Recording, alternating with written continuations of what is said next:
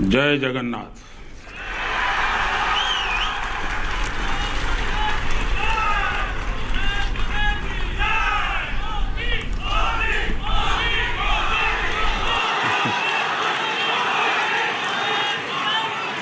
ओडिशा के राज्यपाल डॉक्टर जमीर जी ओडिशा के मुख्यमंत्री श्रीमान नवीन बाबू, केंद्र में मंत्रिपरिषद के मेरे साथी, श्रीमान जुएल ओराम जी, मंत्रिपरिषद के मेरे युवा साथी, श्री धर्मेंद्र प्रधान जी, इसी विभाग के मंत्री, और मेरे साथ पीएमओ में भी मंत्री के रूप में काम कर रहे डॉक्टर जितेंद्र सिंह जी संसद सदस्य doctor Prasanna Kumar ji, atomic energy commission के chairman doctor Shekhar Basu ji, NISER के डायरेक्टर प्रोफेसर चंद्रशेखर जी,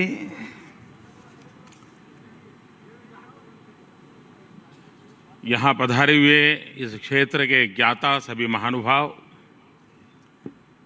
सभी नौजवान मित्रों, ये मेरा सौभाग्य है कि मुझे राष्ट्र को एक बहुत बड़ी विरासत सौंपने का अवसर मिला है।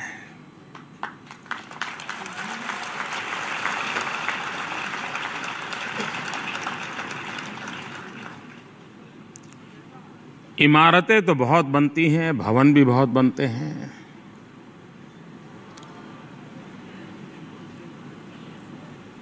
लेकिन ईंट, पत्थर चूनने से बने हुए भवन और इमारत,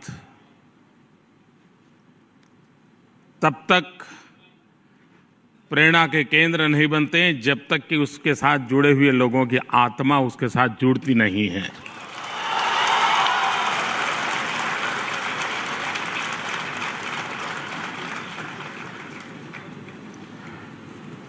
और इसलिए व्यवस्थाओं का तो महत्व होते हुए भी व्यवस्थाओं के भीतर प्राण होने चाहिए। और मुझे इस बात की खुशी है कि विज्ञान और टेक्नोलॉजी के क्षेत्र में हमारे साइंटिस्ट, हमारे टीचर, हमारे प्रोफेसर, हमारे स्टूडेंट्स इन दिनों जी जान से जुटे हुए हैं। कुछ न कुछ नया करने का इरादा हर किसी के मन में होता है। हर किसी के नसीब में नोबेल प्राइज नहीं हो सकता है। लेकिन कोई रिसर्च, कोई इनोवेशन किसी गरीब की ज़िंदगी में बदलाव ला रहा है तो इससे बड़ा कोई नोबेल प्राइज नहीं होता है।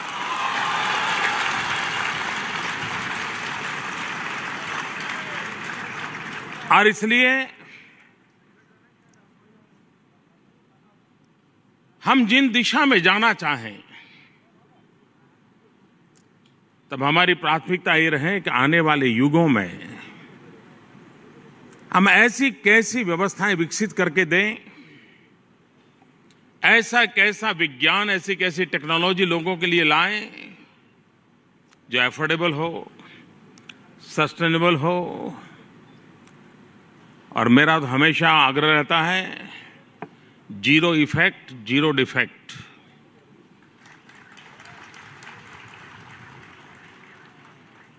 zero effect का मेरा तात्पर्य यह रहता है कि उसका दुष्प्रभाव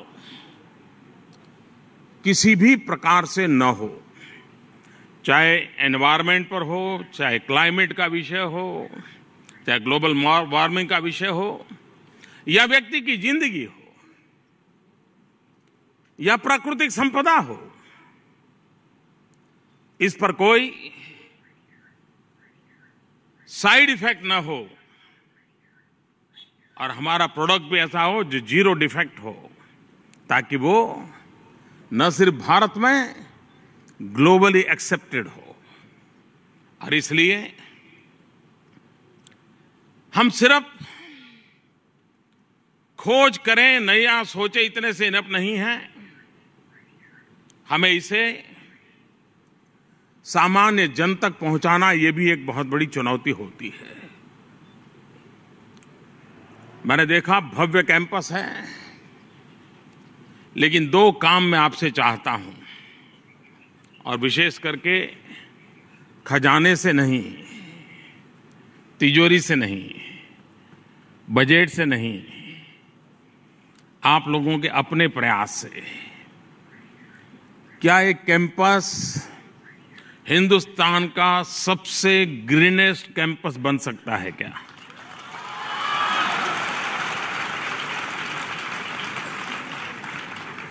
मैं देख रहा था कि यहाँ आते ही एक छोटा सा टीला देखा मैंने। पहाड़ी तो नहीं कह सकता हूँ। लेकिन पैड नज़र नहीं आ रहे। अगर वही ये कंस्ट्रक्शन चलते समय ही साथ साथ कर लिया होता।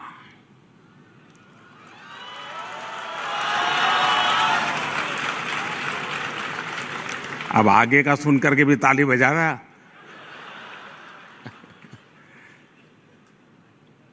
क्या अब हम तय कर सकते हैं कि दो साल के भीतर भीतर उसे पूरी तरह हम ग्रीन बना देंगे?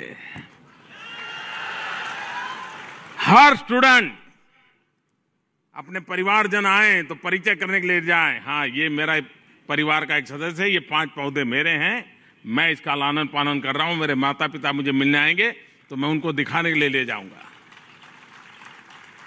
देखिए, संकल्प करना होता है।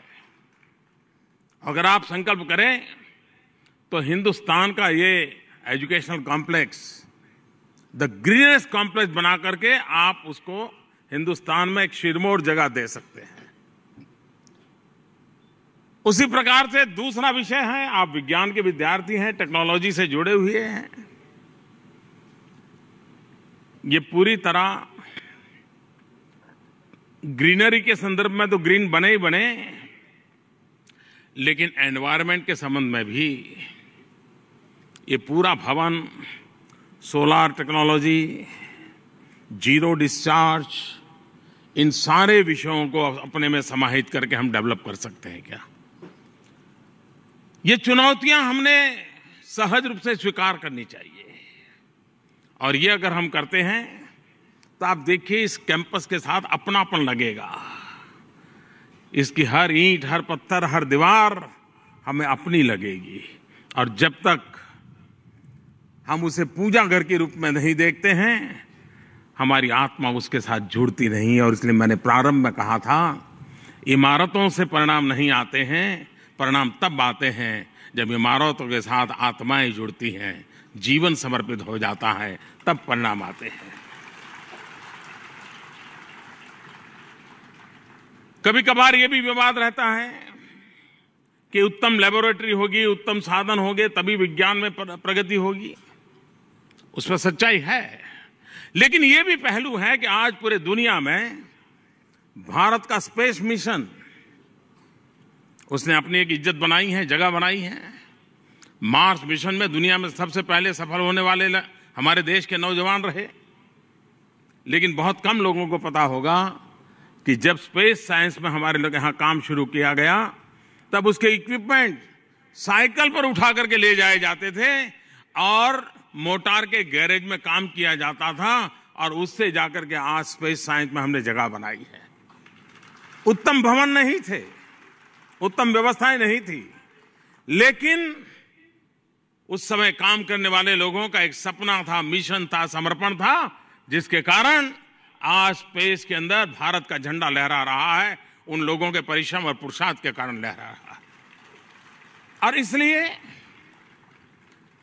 हमारे भीतर मुझे कुछ दे के जाना है, कुछ करके जाना है, किसी के लिए जी के जाना है। ये भाव जब तक प्रबल नहीं होता है हम नयापन दुनिया को दे नहीं सकते। मानव जात का एक स्वभाव रहा है। ये निरंतर परिवर्तनशील होता है। हर युग में उसने अपने आप में बदलाव लाया है, खुद ने अब बदलाव में अपने आप को ढाला है।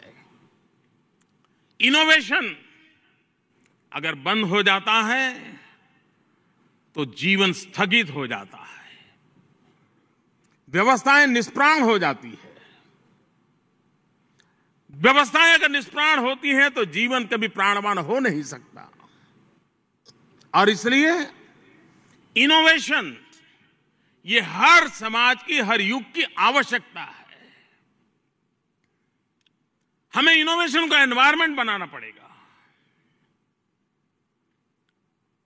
और ये आपके इंस्टीट्यूट तो है, नाई सर? यस सर नहीं है।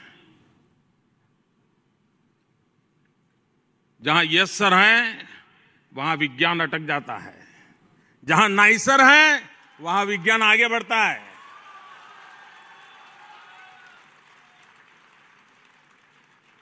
हर बात पर कहता है, नो सर, इसका तो कुछ और होना चाहिए। ये जो क्यूरियोसिटी है, ये नया सवाल मन में उठते रहते हैं, वहीं से तो खोज पैदा होती है। क्वेश्चन मार्क क्वेश्चन मार्क ये खोज की जननी बन जाता है। वही गर्भाधान करता है।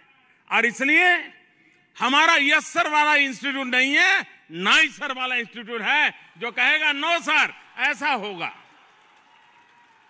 ये एनवायरमेंट क्रिएट करना होगा। अगर ये एनवायरमेंट क्रिएट होता है तो हर चीज़ नहीं बनती है। हमारे सामने कई चैलेंजेज हैं। और ऐसा नहीं है कि चैलेंजेस का उपाय हमारे पास नहीं है। अब हम उड़ीसा में ब्लैक डायमंड के मालिक हैं। विपुल भंडार भरा पड़ा है हमारे पास। लेकिन दुनिया में जो बदलाव आ रहा है, कहीं ऐसा ना हो जाए कि ब्लैक डायमंड हमारा बोझ बन जाए। क्योंकि दुनिया क्लाइमेट को लेकर के चर्चा कर रही है, फॉसिल फ्यूल के विरोध में एक बड़ा आंदोलन खड़ा हो रहा है। क्या हम समय रहते विज्ञान के माध्यम से, टेक्नोलॉजी के माध्यम से ऐसी व्यवस्थाएँ विकसित करें कि हम कॉल गैसिफिकेशन करके हम क्लीन एनर्जी की दिशा में कैसे जाएँ और वो सस्ती टेक्नोलॉजी के दिशा में हमारे इंस्टीट्यूशन कैसे काम करें, हमारे नौजवान कैसे काम करे। हम, हमारे सामने काम है।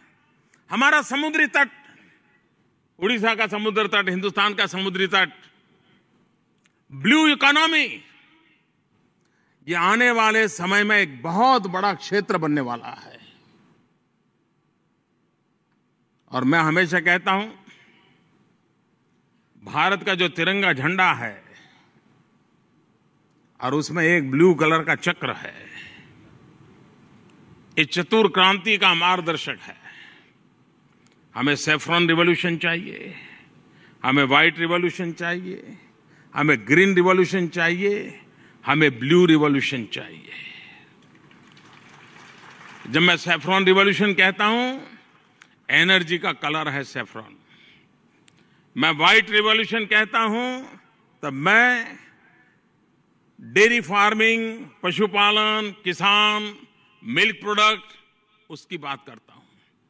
मैं ग्रीन रिवॉल्यूशन कहता हूँ, तब मैं एनवायरमेंट की बात भी करता हूँ एग्रीकल्चर रिवॉल्यूशन की भी बात करता हूँ। और जब मैं ब्लू रिवॉल्यूशन की बात करता हूँ, तब हमारा समुद्री संपदा जो है, और हमारा जो नीला आसमान है, इन दोनों की ओर हमारा ध्यान रहे, हमारा आसमान नीला कैसे बना रहे, और हमारी समुद्रिक संपदा जिसको जितनी मात्रा में हमें खोजना चाहिए, नहीं खोज पाए हैं। क्या कारण है कि हमारे पूर्वजों ने इसको रत्नाकर कहा था? अगर वो रत्नाकर है तो रत्न के भंडार पड़े हैं, उन रत्नों के भंडार है तो हमने क्या खोजा? हमारी सामुद्रिक संपदा का उपयोग हम राष्ट्र के लिए कैसे कर सकते हैं? हमारे मछुआरे भाई बहन साल में छह महीना, आठ महीना रोज़गार मिलता है, लेकिन उसी समुद्री तट पर अगर सीवीड की खेती करते हैं और सीवीड में वैल्यू एडिशन करने की दिशा में हम काम करते हैं, हमारे बायोटेक्नोलॉजी में काम करने वाले बायोलॉजी में काम करने वाले सीवीड पर कैसे काम किया जा सकता, वो यानी न्यूट्रिशन वैल्यू बहुत होने के बावजूद भी उस पर हमारा ध्यान नहीं है। हो सकता है हमारे मछुआरों की आय का वो कारण बन सकता है। हम वैसी विज्ञान की वो कौन सी चीज़ों की ओर चले, जो हमारे देश की रिक्वायरमेंट को पूरा कर सके। एनर्जी मानव जीवन के लिए अनिवार्य हिस्सा बन चुका है। उसके बिना जीवन असंभव हो रहा है। और एनर्जी के रिसोर्स की मर्यादाएँ हैं। अब आप देखिए पहले की एनर्जी सिटी में एलईडी बल्ब, इनोवेशन हुआ, रिसर्च हुआ, एनर्जी सेविंग उसके साथ साथ आई और सहज रूप से, और मुझे हमारे डिपार्टमेंट के लोग बता रहे थे कि भारत में तो इन दिनों एलईडी का बहुत बड़ा मूवमेंट चल पड़ा है। कई शहरों ने अपनी स्ट्रीट लाइट एलईडी की है। हंड्रेड सिटीज़ का एमओयू किया है भारत सरकार ने। हंड्रेड सिटीज़ के स्ट्रीट लाइट को एलईडी करते हैं। और हंड्रेड सिटीज़ में घरों में हम एलईडी पहुंचाते हैं तो मुझे बताया गया कि ट्वेंटी थाउज़ेंड मेगावाट बिजली बचेगी। ट्वेंटी थाउज़ेंड मेगावाट बिजली बचेगी।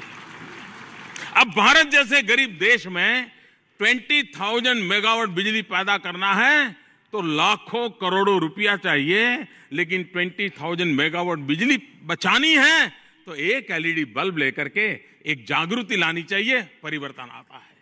यानी एफोर्डेबल, सस्टेनेबल टेक्नोलॉजी किस प्रकार से बदलाव ला सकती है? एलईडी एक बहुत बड़ा उदाहरण है हमारे सामने। और इसलिए मैं आप नौजवानों से आग्रह करूँगा कि हम विज्ञान को किस रूप में इनोवेशंस को साइंस को किस रूप में ले जाएँ जो हमारी जो एनर्जी की समस्याएँ हैं, उसको हम समाधान करें। 175 गीगावाट रिन्यूएबल एनर्जी की दिशा में हम जा रहे हैं। क्लाइमेट जस्टिस इस पर हमारा बल है। लेकिन 175 गीगावाट रिन्यूएबल एनर्जी पर जाना है तो आज जो पद्धति है, वो इतनी कॉस्टली है कि भारत के लिए वो मुश्किल हो सकता है। लेकिन हमने रास्ता खोजने का तय भी कर लिया है। और क्यों? मुझे मेरे नौजवानों में भरोसा है कि आने वाले दिनों में सोलर एनर्जी के क्षेत्र में नए रिसर्च करेंगे। आज हमारे सामने चैलेंज है सोलर एनर्जी को कैसे प्रिजर्व करना, उसको कैसे रखे रखना। दिन में सूर्य है, रात में भी उस बिजली का उपयोग करके और वो सारी व्यवस्था कैसे चीप हो, सस्ती हो ये हमारे सामने चुनौती है। अगर एक बार हम सोलर पावर को संभालने की व्यवस्था में हम मास्टरी कहा लेंगे, मैं नहीं मानता हूँ और कोई रिसोर्स की ज़रूरत पड़ेगी। और इसलिए भारत, और अभी हमने एक बहुत बड़े दो काम किए हैं।